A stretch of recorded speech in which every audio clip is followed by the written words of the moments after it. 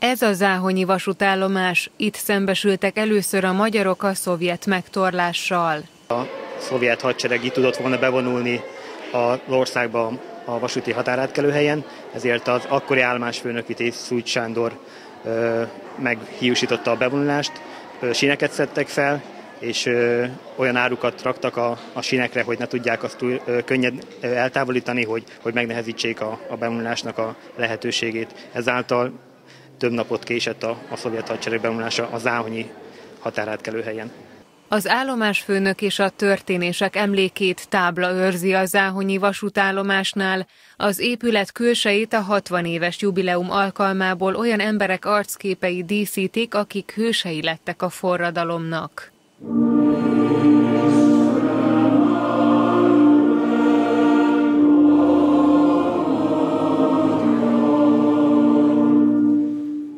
Záhonyban több százan emlékeztek közösen a 60 évvel ezelőtti eseményekre. A rendezvényen a megyei közgyűlés elnöke azt mondta, a forradalom becsületbeli ügy volt, hőseit ünnepelni kell.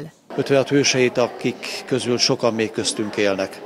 Ezért is nagyon meg kell becsülnünk ezt a 60. évfordulót, hiszen az élet előre haladtával egyre kevesebben vannak köztünk azok, akik élő szemtanúi, részesei voltak ennek a csodálatos esemény sorozatnak, amelynek akkor golyó megtorlás, bitófa lett a jutalma, a következő évtizedekben, évszázadokban pedig, amíg magyar él, addig hála, emlékezett, tisztelet és megbecsülés lesz az ő jutalmuk mindörökké.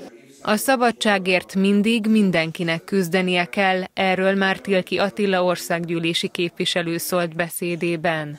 A 56-os fiatalok szabadság iránti vágyából erőt meríthetünk. A szabadság egy olyan érték, amire folyamatosan szükségünk van, és amit folyamatosan meg kell vívni.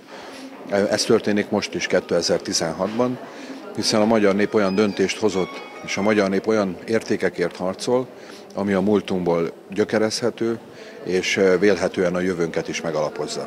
Az Áhonyi ünnepségen a helyi diákok énekes előadását, valamint dokumentumjátékát tekinthették meg a résztvevők.